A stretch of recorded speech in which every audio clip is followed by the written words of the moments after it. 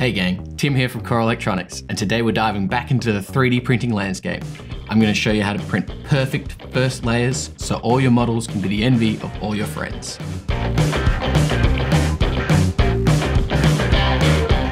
The first layer results are crucial to the success of 3D printed components, and sometimes a single layer print is all that is desired. There's a lot you can do with single layer prints, creating complex, interlocked origami structures, stylish lamps, or even printing nice tree fern fronds, like you can see with what I have brought to the hideout with me today. A sign of success when it comes to first layers is a model with a shiny and flat bottom surface. Furthermore, success is a model that is rigid and dimensionally correct without any excess or peculiarly placed build lines. Now, if the initial layer is not firmly set to the build platform, it will end up as a failed print, with the best results being a warped, misshapen product. There are a number of explanations if you're having issues with the first couple of layers or of single layer prints. One of the first points of call, if your bottom layer of your prints is constantly having issues with adhesion, is the build platform. It is crucial to have a flat and level build platform which is parallel to the path of the nozzle. If your build platform is incorrectly calibrated, it will constantly cause large issues with all prints, and particularly so for single layer prints. For Ultimaker 3D printers, there's a guide on our website to calibrate that build platform. So a factor that is very important to single layer prints is initial squish. Both calibrating the height manually and altering settings within Cura, which is a free 3D printing slicing software, can directly affect the initial squish. So to clarify, the initial squish is how much the first layer of a print is pushed onto the build platform. Higher squish will produce a flatter first layer, which has more contact with the build platform, but a smaller z-axis height. The printed lines will also blend much better together. If the bottom of the printed part is shiny, it's very pleasing aesthetically, and it also is an excellent indication that the model has adhered well to that build plate. If you're looking at these single fronds, you can see exactly how shiny these pieces are. This one adhered very well, This one you can see a little blemish right there. And the initial one that I printed, you can see where it runs into issues at the top. So putting them in order of how I printed them, you can see an improvement between these results. So looking at the single layer fronds I brought to the table, you can see the three separate results. The print that failed, I used a weaker initial squish as compared to the two successful prints, which I used a higher initial squish consecutively. Squish was all altered in settings within Cura.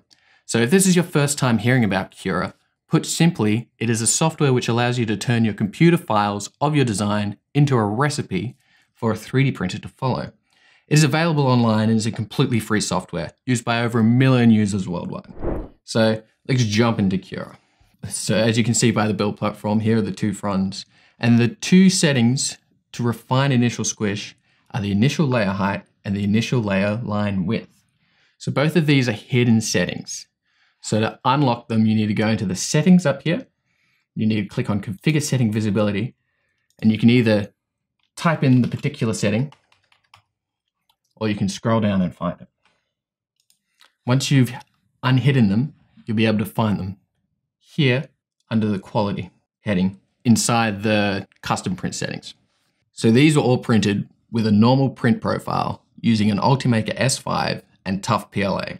So I increased the initial layer height by 0.05, this guy over here, and I increased the layer line width by 10% incrementally for these prints. Single layer prints are a lot of fun, particularly because of the speed it takes to produce them. Each of these models took less than 20 minutes to make. So now we're talking about speed. Speed absolutely murders good single layer prints. So if you're running into problems, another easy setting to alter is the initial layer print speed and initial layer travel speed. So jumping back into Cura, these two hidden settings can be found under the speed heading in the custom setting print menu. Down here. We got the print speed, initial layer print speed, and the initial layer travel speed. So for first layer prints, 20 millimeters per second is an excellent speed for all of these settings. This will minimize the vibrations and give the filament a better chance to extrude out reliably onto the build platform. Finally, when printing aesthetically pleasing first layers, combing is a feature that often comes up in conversation. Combing is a method used in 3D slicing software to minimize stringing and print nozzles dribbling effects.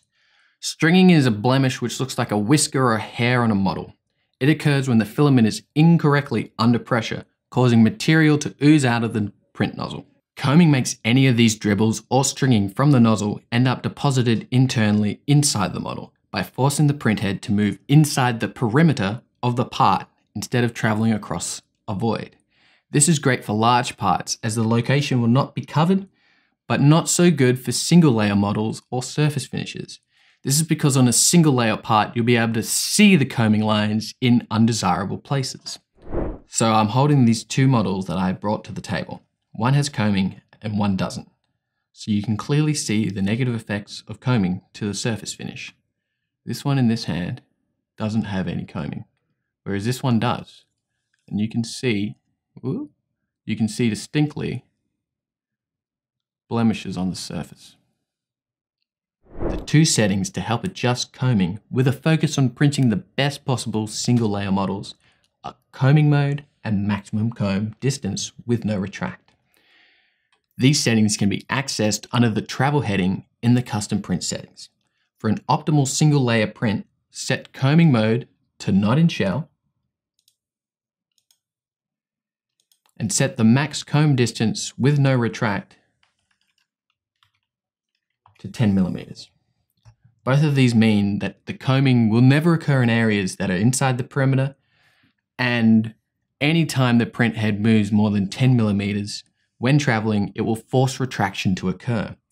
This will stop lines being printed on the bottom layer in places you don't want them. Retraction specifically is when the feeder pulls the filament away from the nozzle. And that's it. There's a write-up on this topic at our Core Electronics website, which goes significantly deeper into these concepts. If you want more insight, it's definitely worth checking out.